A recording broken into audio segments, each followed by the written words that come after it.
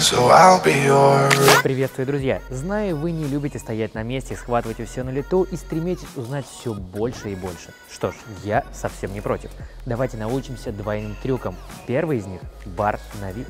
Что понятно из названия, к моменту изучения уже надо бы уверенно 6 из 6 выполнять и барспин, и VIP по отдельности. Если уже делаем и кажутся трюки простыми, объединяем. Что нам еще ясно из названия, это последовательность выполнения. Сперва барспин, потом VIP.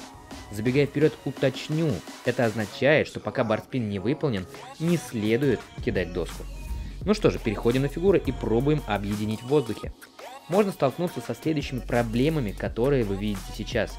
И я напомню, что трюк выполняется в последовательном порядке. Сперва прокручивается и ловится руль, то есть ведущая барспин рука должна схватить обратно его.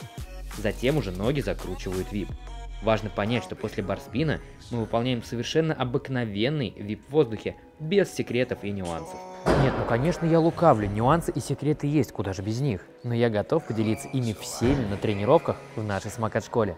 Там и увидимся.